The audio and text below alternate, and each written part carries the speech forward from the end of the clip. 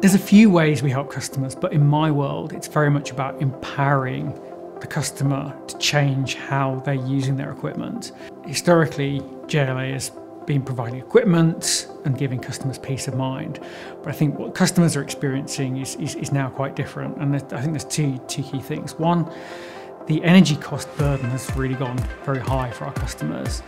And actually, to meet the regulatory compliance, which is sort of the second burden they face, they need to expend quite a lot of energy. So there's a sort of heightened interest in our customers as to how they can comply with the regulations, but also not completely break the bank when it comes to energy utilisation. Through JLA Connect, we're able to provide them with utilisation data as well as error information.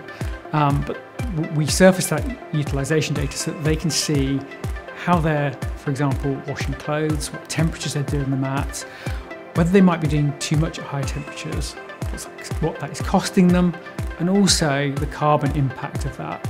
And then they can make changes within their businesses to reduce the energy consumption, that carbon impact, um, and, and, and really make it make a big difference. The other thing that we, we can do is, off the back of seeing how customers use their products in more detail, is make more accurate product recommendations. So if we have a better product that can help that customer do their laundry more effectively, we can make that recommendation with confidence. We pride ourselves at JLA in our environmental credentials and we want to enable our customers to be able to take the same action that we're taking to improve their businesses. Digital laundry systems provide information to empower customers to do more about their environmental credentials. In providing information on carbon footprint, we can actually help customers understand when is the best time to run cycles.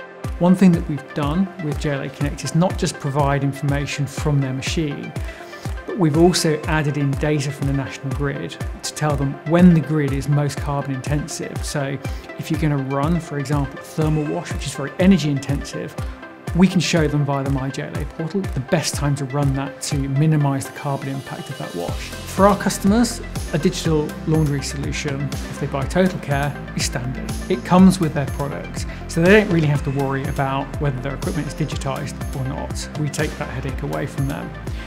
When they receive their product, all they need to do is log into the MyJLA portal and they will start to see all the information on that product so they'll be able to see what cycles they've run, when they ran those, what sort of cycle it was, and all the energy, water, and CO2 that um, was consumed as a result of running that cycle. On the flip side, we're also looking at that data internally at a much more granular level.